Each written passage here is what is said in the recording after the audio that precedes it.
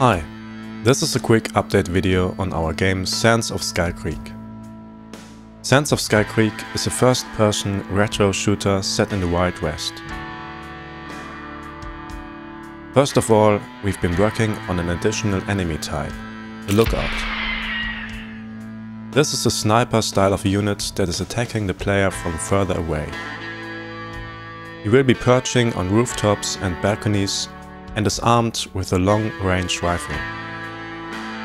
This type of enemy will add a more tactical layer to the gameplay, as the player will have to take him out quickly before he can land a shot.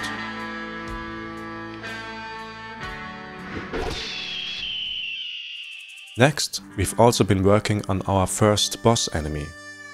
His name is Barbecue Bob, as he has a habit of roasting and eating human flesh. He is armed with a revolver and some dynamite. One of the mechanics that we are currently working on is that he can light the dynamite and throw it at the player, which deals radial damage to both the player and also nearby objects. Furthermore, we've also added a bowie knife. This will be the starting weapon of the player character. It can deal great damage in close combat situations and will help the player out when ammo's tight. Lastly, we've updated how our YouTube, itch.io and Steam page looks. Our artist made an awesome new banner that you can check out over there.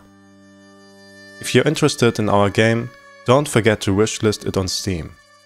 This will help promote it in the Steam algorithm.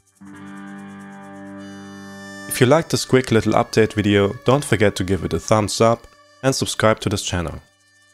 If you have any questions about the game, feel free to leave a comment below. I'll see you in the next one.